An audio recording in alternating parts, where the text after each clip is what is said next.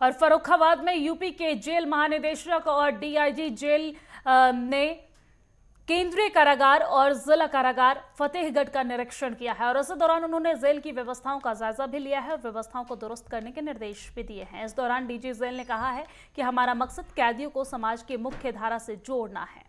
DG jail और DIG jail का ये दौरा, तस्वीरें आप देख सकते हैं। सेंट्रल जेल और जिला जेल का ये दौरा उन्होंने किया है।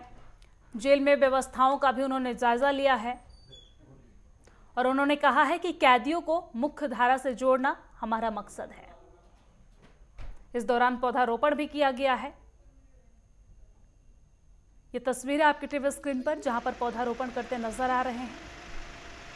डीजी जेल और डीजीआई का ये दौरा, सेंट्रल जेल और जिला जेल का उन्होंने दौरा किया है।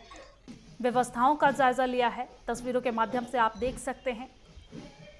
जिला जेल फतेहगढ़ का दौरा। और इस दौरान उन्होंने व्यवस्थाओं का जायजा लिया और उन्होंने ये भी कहा कि कैदियों को मुख्य धारा से जोड़ना हमारा मकसद है।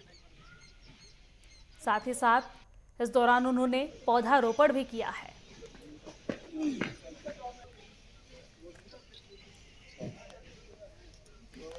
जेल की जो सुरक्षा व्यवस्था, वो सही ढंग से चल रहा है या नहीं चल रहा है, उसका देखना था।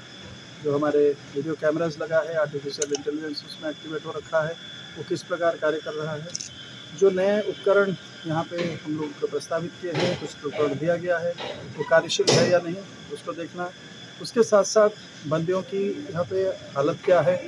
और उनकी जो सामान्य जो लिविंग है, जो खान पान और उनका अनुशासन और उनके जो स्किल डेवलपमेंट उनका शिक्षा और ये सब कार्रवाई सही चल रहा है ना, उसका देखना चाहिए